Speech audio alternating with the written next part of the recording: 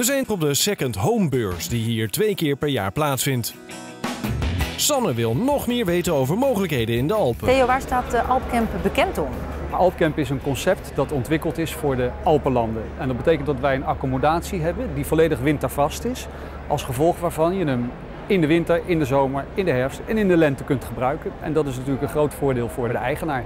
Je kan hem ook neerzetten waar je zelf wil. Als jij een camping hebt of een park waar je denkt van eh, nou daar komt mijn eh, accommodatie goed tot zijn recht en daar heb ik het naar mijn zin, dan kun je daar uh, je tent neerzetten. Ja. Wat moet je vooral niet doen als je een vakantiewoning in het buitenland wil kopen?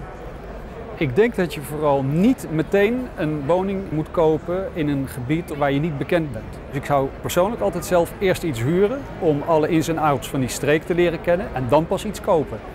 En dat is nou leuk van een element, want die kun je ergens neerzetten. En als je zegt van dit is toch niet de streek voor mij, ja. dan ga ik verkassen en dan zoek ik een andere omgeving op. Goeie tip. Op naar het zuiden nu met Arno.